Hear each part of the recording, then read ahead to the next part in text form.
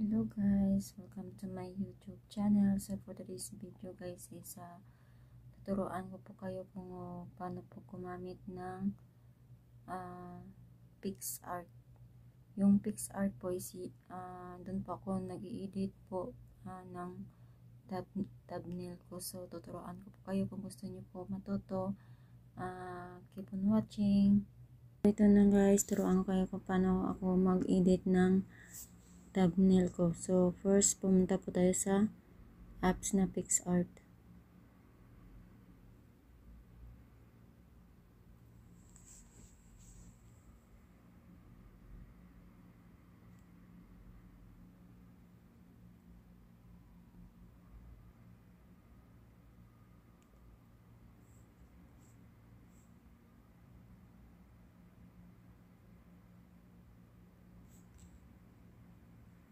So, pag open mo, ito yung makikita mo dito.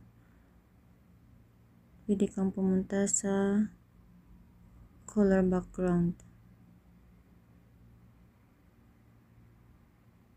Ito. Tapos, uh, pumunta ka sa tools. Crop. Tapos, uh, hanapin mo yung size ng pang YouTube. YouTube.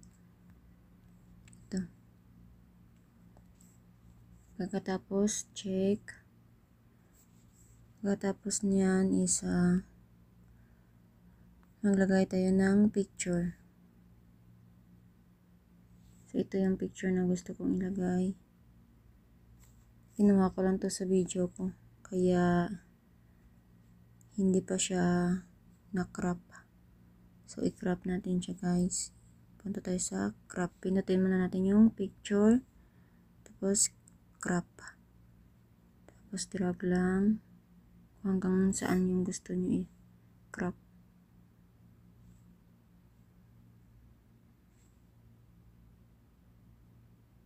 Ayan. Tapos, check. Palakihin lang natin.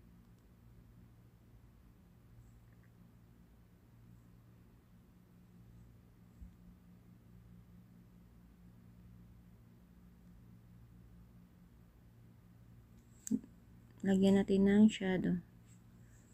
Makikita natin yung mga gusto natin dito sa ibaba.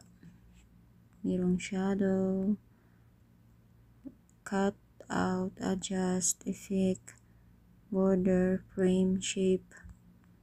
So lagyan natin ng shadow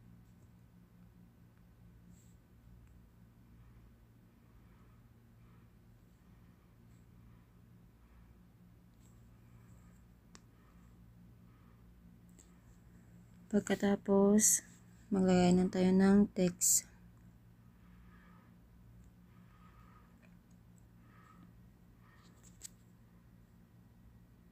Uh, kung anong gusto nyo ilagay na uh, kung ano yung sa title mo yun yung ilagay mo or nakadepende sa'yo kung anong gusto mo so akin is candy candy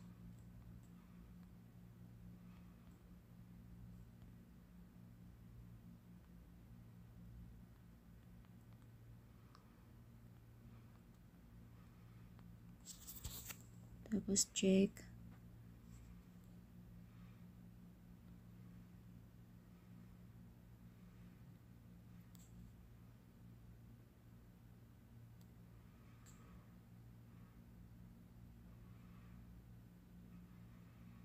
Tapos kung gusto mong lagyan ng color, meron din. Punta ka dito sa color. Uh, sa akin, lagi kong ginagamit is ito. Tapos, uh, stroke. Yung parang shadow niya. Ito ka dito. Sa akin is black. Yan. Hindi siya masyadong black. So, mag-add tayo dito sa amount. Para mas makita yung text. Ito.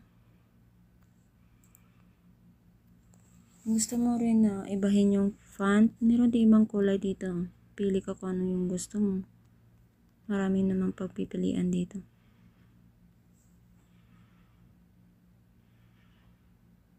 Pwede mo rin yung text, pwede mo rin siyang i-blend, shadow. Pero sa akin yan lang, simple lang naman eh. Tapos sa font niya, ito. Marami ka rin mapagpipilian dito na font. Palitin natin.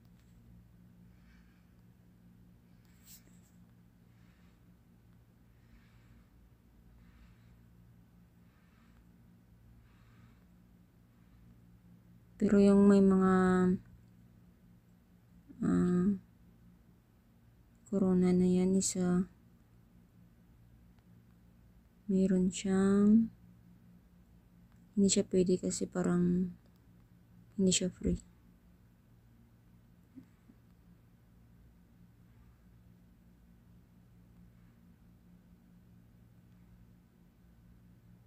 Pero sa akin ito yung gusto ko.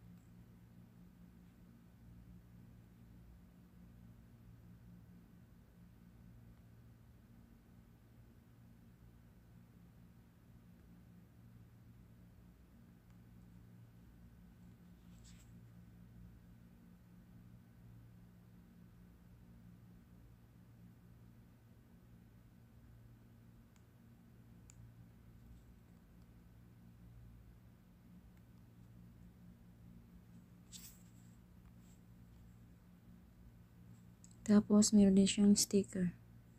Kailang kailangan may internet ka. Cool out. Ito. Kung gusto mo lagyan.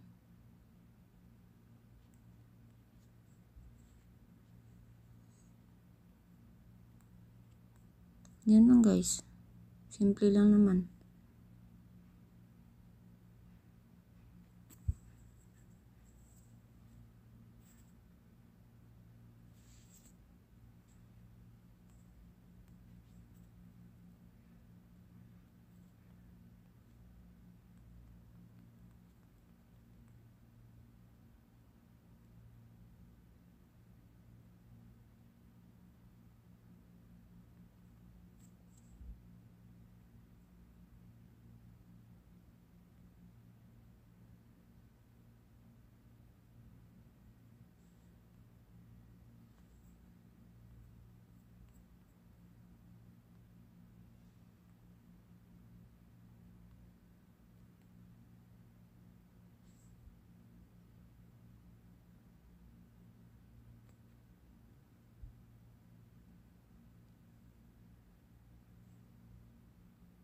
Simple lang guys, no?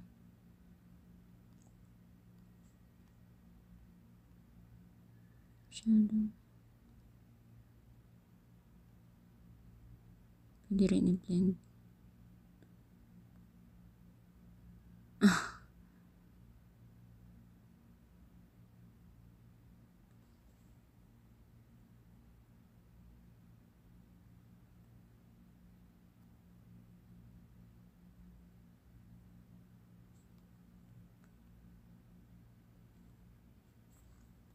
Wag na.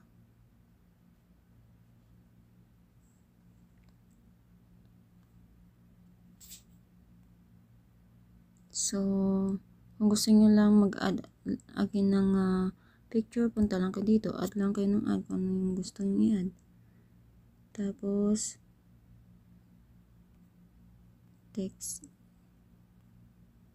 Yun lang guys. Madali lang naman eh. Marami pa yan guys. Um, meron siyang sticker. Kaya lang hindi ko na-open yung wifi kasi nag-content uh, ako. Kasi pag in-open ko yung wifi, yung messenger ko panay. Panay tunog naman. So yan. uh, sana nakatulong ako kay sa inyo kahit uh, simple lang naman to eh, tapos mabilis. Pero alam ko sa mga bago pa lang di, hindi naman lahat uh, alam kung uh, paano gumawa eh. Ako din naman noon yung bago pa lang ako is uh, nag-research uh, ako kung ano yung apps na gagamitin at kung paano gamitin. So, ngayon gusto ko ako naman makatulong sa inyo. Kahit uh, hindi naman ako masyado bihasa, at least kahit konti lang naman nakaalaman, di ba? Dapat uh, i-share natin sa mga yung sa mga taong nangangailangan ng tulong. So, isave na natin guys dito. Yan, nakasave na yan. Tapos, i ilalagay ko na siya. Ayan guys, uh, tuturaan ko na kayo kung paano maglagay. May video naman ako noon eh, kasi lang nasa ilalim. Hindi siya, hindi pa ako muni noon. So, ngayon na ulitin ko lang kung paano maglagay ng thumbnail. So, ito. Punta tayo sa YT Studio.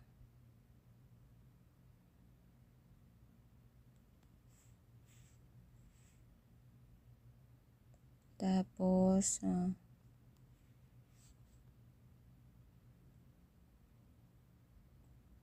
punta tayo sa video natin. Pindutin nyo lang yung parang pencil. Dito. Tapos, ito ulit pencil. Tapos, may custom thumbnail kung hindi mo uh, kung ayaw mong lagyan ng thumbnail na gawa mo si YT na mismo yung maglalagay kung ano yung ito thumbnail sa'yo. Pero sa akin lagi akong gumagawa ng thumbnail eh. kaya ako gusto kong i-upload yung ginawa ko ngayon. So ito na siya. Ito. So select lang natin guys. Select lang natin siya. And save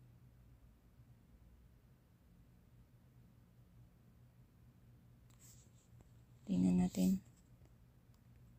So ito na guys. Meron na siyang meron na siyang um, ang tawag dito?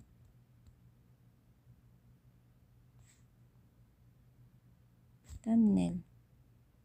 So, sa uh, so sana po nakatulong po ako sa inyo kahit po um, um in, kahit po uh, konting idea lang po at uh, nagpapasalamat po ako sa mga taong laging sumusuporta po sa akin sa hindi pa po naka subscribe please uh, do subscribe my youtube channel and hit the notification bell para updated po kayo sa mga bagong videos ko at um, ma-update po kayo. Bye-bye! See you sa next video ko.